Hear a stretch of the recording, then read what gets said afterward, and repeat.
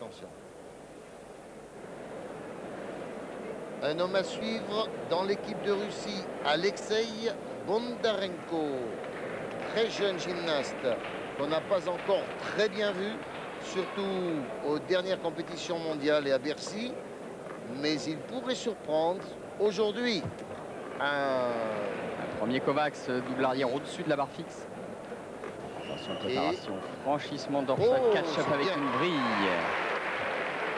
Changement de face. Gymnaste très fin qui donne des coups de fouet. Tendu. On voit quelques fautes de jambes. Les pieds ont du mal à rester serrés sur les lâchers de barre.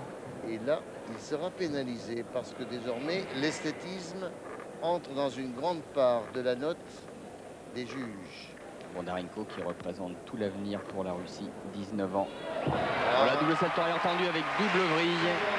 Voilà un nouveau, un nouveau venu dans l'arène mondiale.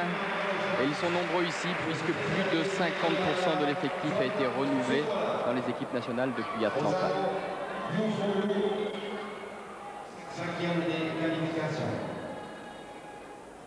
Ça c'est... Voilà. Belle... Mais alors, un faute de jambes. un petit peu près à la reprise sur ce franchissement dorsal catch-off avec pirouette. Et faute de jambes qui sera bien évidemment pénalisée.